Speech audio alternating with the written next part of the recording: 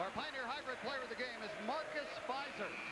Was there any doubt? 31 points, 9 rebounds, 5 assists, which is a career high, by the way.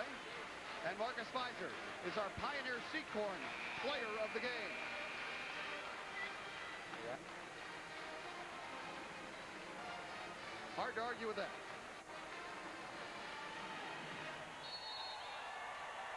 Cyclones trying to put this thing away. Nurse. Bounce pass to Fizer. Good patience. Now he'll take it in. Oh! Point up the capper of this game. Did Are he you take it to kidding me? Mihm? Are you kidding me? Dunked it right over Mihm. Ooh, You talk about a highlight reel, career high on points.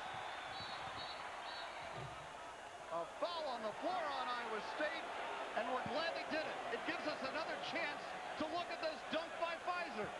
A career high 33 on the night. Gets his man up in the air, comes that Mihm right here, just takes it up over him and jams it down. I mean with authority.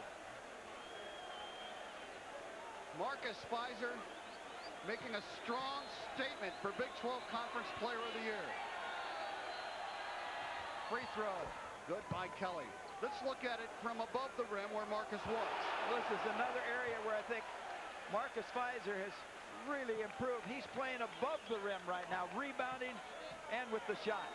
About a 7.8 on the Richter scale.